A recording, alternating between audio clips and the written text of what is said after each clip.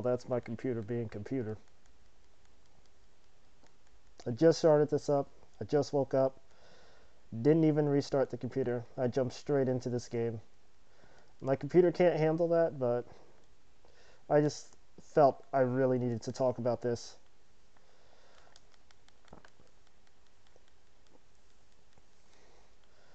Now, as you may have noticed, my um, my burst meter just went down significantly. It was a level 4, now to level 2.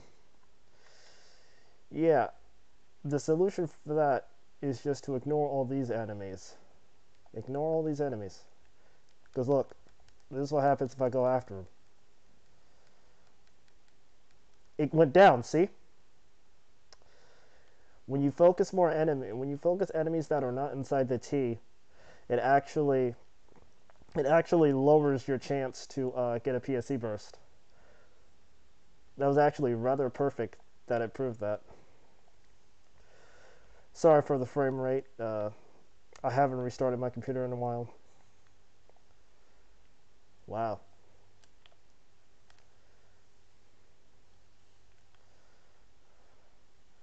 Yeah, see? Now that I'm focusing the T, it's actually deciding. Wow.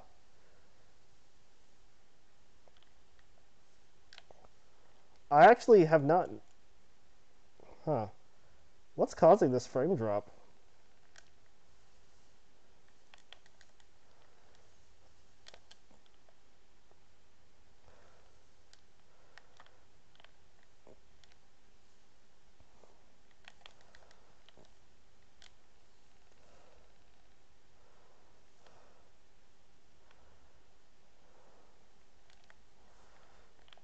That's weird. Did you finally load up? You loaded up now? You know how everything works?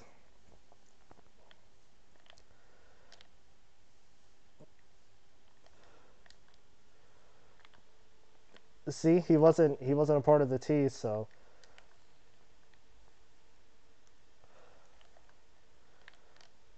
he wasn't a part of the T, so that lowered my score. But you see, uh, I can't believe this has been an argument for such a long time. Uh, there are a lot of people that don't know how PSE bursts work, and there are surprisingly a lot of people who suffer for that and don't experience PSE burst uh, quite frequently, but I guarantee you it's as easy as following this little symbol right here. You can barely see it because I'm right on top of it, but it's easy. Yeah, it's still loading and everything. Plus, I don't record often. This is actually my first time recording, so... Yeah, it's that easy. Follow the T's. Follow the E's and T's. That's all you gotta do. You know, kill this guy real quick.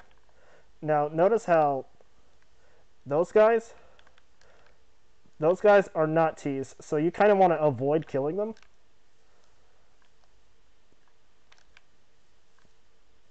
I know it's inevitable because they're crowding me right now. But if you can help it, you kind of want to avoid killing them.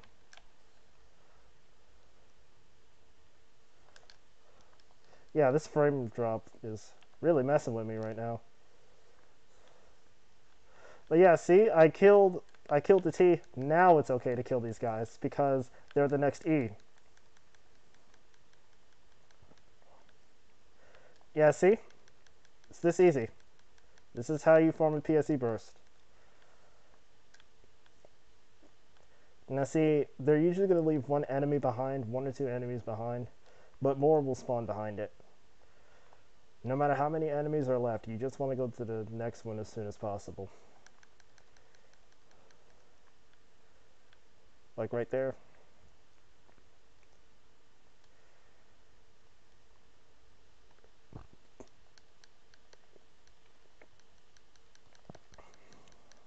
See that? Now I got a level 4 burst. The enemy's ready for me. I'm going to go right over there. Look at that. I even got a PSE burst. Well, I even got a Photon Blast ready.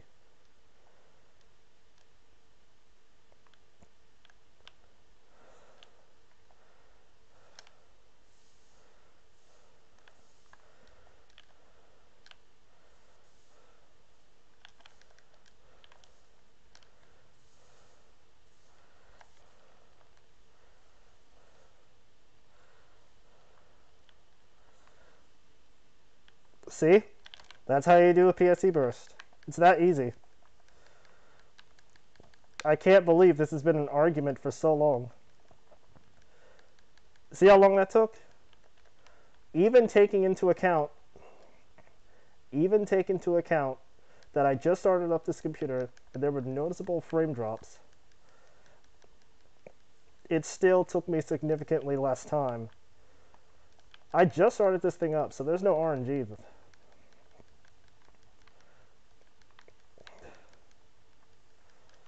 We just started the computer up.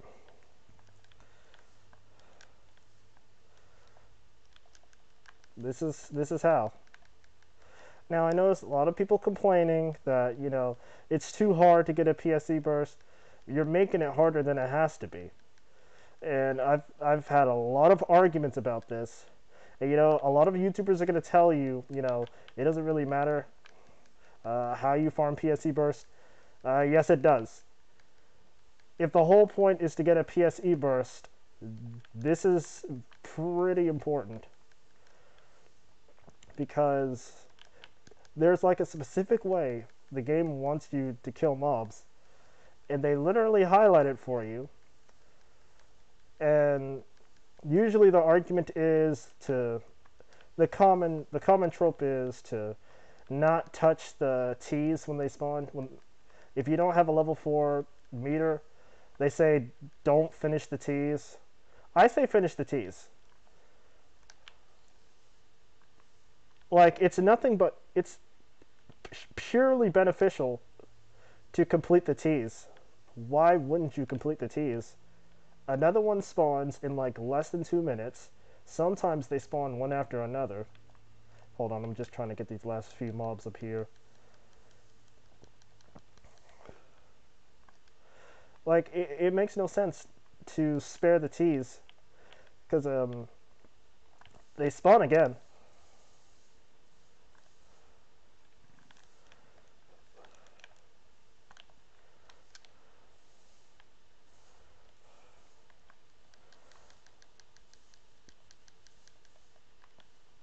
The, the, the T spawn again. So, people people are always talking about you know leave the T's open and they call you stupid and whatnot for not um, for not leaving the T's open, but the T's grant you extra Meseta. They help increase your meter if you don't have it full already. There's just no reason not to follow the E's and T's because the T literally spawns more E's. And as you can see, the E's definitely increase your meter the fastest. It's easy to go from point A to point B. I mean, the people you're passing by right now, they're going to be E's later. You just got to do what the game tells you, and you'll be rewarded with a PSE burst. See, look. That's one meter already. And, and then there's another T ready. But, see, it, like, there's no reason not to... There's no reason not to do PSE burst. Look at all these items I just got.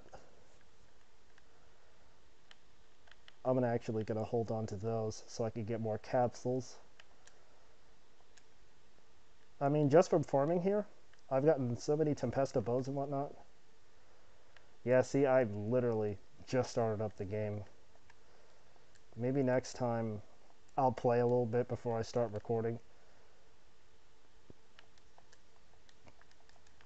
But yeah, it's that easy. I don't really know why this is an argument, but here's my proof.